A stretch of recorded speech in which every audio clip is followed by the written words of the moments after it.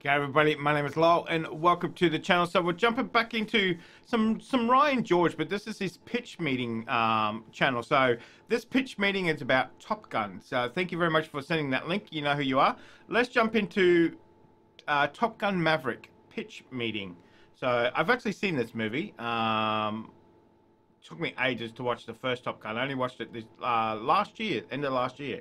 So let's jump in and let's have a look. At So, you have a movie for me? Yes, sir, I do. I got a freaking Tom Cruise movie to pitch you. Oh, does he run? No, actually, his character in this one mostly just sits at a desk, so, you know, no running, unfortunately. I love Ah, his run, I'm just messing with you. A couple of good cruise sprints for sure. I was gonna ask you to get the hell out of here and put a hit on you. what? So, what's this movie? Tell me about it. Well, I was thinking we make another Top Gun movie. That's a movie people have heard of. It sure is, sir. So after we copy paste the original intro, we're gonna get right into this bad.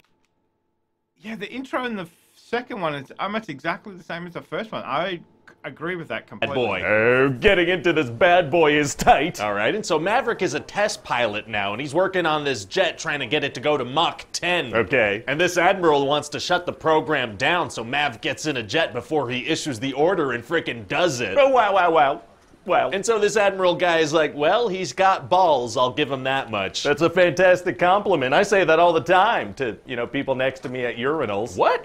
Don't do that. Oh, okay, my bad. Anyway, then what? Mav gets a little cocky and pushes this thing even further, and it frickin' disintegrates in midair. Oh my god, so he dies? no, he's fine. How'd he survive a midair disintegration at over Mach 10? Well, we're gonna cut away. Oh, I understand. Yeah, characters can survive pretty much anything if you don't show how they did it. Very true. So then Mav gets back, and obviously he's gonna be in a lot of trouble. yeah, I mean, he just destroyed a multi million dollar aircraft. It's gonna be hard for him to stay in the Navy after that. Actually, it's gonna be super easy. Barely an inconvenience. Oh, really? Yeah, see, Iceman from the first movie, he's a high ranking commander now, so he steps in right at the nick of time to be like, actually, here's a job. Oh boy, here we go. Yeah, so it turns out some bad guys are building an unsanctioned uranium equipment plant, so Mav has to go back to Top Gun and train some pilots. Who are the bad guys? Oh, it's this bad country, sir. Very bad. Okay, which one? Oops, one of the bad ones, that's for sure. One of- not good at all, Yeah, they never tell this you. country. They What's it called? Listen, sir, I'm gonna need you to get all the way off my back about what country this is, okay? Oh, okay, let me get off of that thing. Probably best to not get specific anyway. yeah, because Twitter exists now, all right? Let's just not go there. Pretty smart. So why doesn't the Navy just blow this place up with drones? Well, see, there's like GPS blocking and surface to air missiles and uh, blind spots. Just the exact circumstances we need to make the movie happen, okay? So just go with it. Okay, I will. And this freaking target's at the end of this big canyon, and to hit it, they gotta hit this super precise exhaust port. Oh, they gotta do a Star Wars. no, it's not a Star Wars, sir. It's just some pilots flying through tight spaces trying to blow up an evil base by hitting a very precise target in an exhaust port. That's a Star Wars. No, it's not. It's just this movie where one of the best pilots is this kid that Mav is gonna mentor, and he's actually the son of someone he used to fight with back in the day.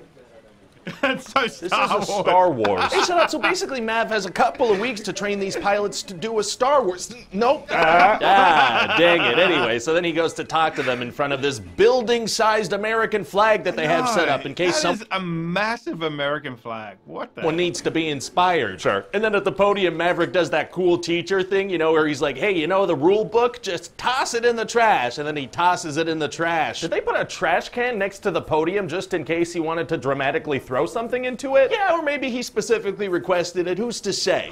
So anyway, then he's gonna start training these pilots, but he's having a hard time with Rooster, who's the son of his friend Goose that died in the first movie. He died in the first movie. Yeah, that's literally what I just said. So? So anyway, Rooster's not only mad at Mav about the death of his father, but also because Mav like messed with his papers at the request of his mom and took a couple years off his career. Yikes. And also sometimes Maverick is gonna kiss Jennifer Connelly, so we'll try to connect that to the first movie in some way. Oh, good for him. Anyway, so eventually Mav is having a real hard time making these pilots work as a team. So you know what he's gonna do? Sweaty shirtless beach volleyball like in the original? What? No, sir, come on. This is its own movie, okay? It's gonna be sweaty, shirtless beach football. That is slightly different. but then Iceman is gonna die. during the football game? No, like off screen because he was sick, but that means that Mav no longer has his protector, so he gets fired and the Vice Admiral changes the mission parameters. Oh no. But then to prove that the mission can actually be done, he steals a jet and flies it perfectly. They don't have any security around those things? Nope. Oh, great. So they go on to this mission, which seems impossible. Oh, I feel like I'm having deja vu. And so they're flying and flying, and it's very exciting and nerve wracking, and people watching are gonna have toned glutes. What? Toned glutes. You know, from clenching their butt cheeks. Oh, gotcha. And Rooster's kind of having a hard time, but then he kind of lets go and taps into something inside himself. The Force? It's not Star Wars, sir. and so then they manage to do the million and one shots, and Rooster does it without even using his targeting system. What was that? that was Chewbacca celebrating. Oh my god. So anyway, then they get out of there and they get into a freaking dogfight with enemy jets. Uh-oh. And Mav is gonna get shot down, and then Rooster's gonna save him, but also get shot down. And so getting shot down's not a big deal, I guess, huh? Not for the good guys, sir, but for the bad guys, it's always lethal. Nice. So then Rooster and Mav sneak onto this enemy base, and it just so happens there's an operational F 14 Tomcat, which is the jet he flew in the first movie. Oh, we're going full nostalgia coincidence. Sure are, sir. So then they get into another dogfight and they manage to survive, and then everybody's super happy for them. Very fun. Were those war crimes, though? I don't know, but everybody's super happy for them. Amazing. So what do you think? well, you know what? I think it might be refreshing for people to have this kind of classic summer blockbuster again. You know, no superheroes, no over the top CGI, no sky beams, just a good original movie, you know? Yeah, it's gonna be nice. Although it is a sequel to a super popular movie. Well, yeah, we need some safety net for this to be successful. Top 10 for four full Hi, months. everybody. Ryan George here. Thanks for watching that pitch meeting. I hope you enjoyed it. I hope it made you laugh. I hope it made you cry. I hope it made you cry. you hearing me? I hope you cried. All right, I'll see you around. Go wipe those tears away. Oh, that was hilarious. That was hilarious. I mean, when you explain it that way, it definitely does sound like the end of um Star Wars, doesn't it? Ah, yeah. Yikes. Taps into the Force. No, it's not Star Wars. Good movie though. Obviously, uh, you know, you know, definitely a nod to the 1980s, you know, action-packed uh, movies.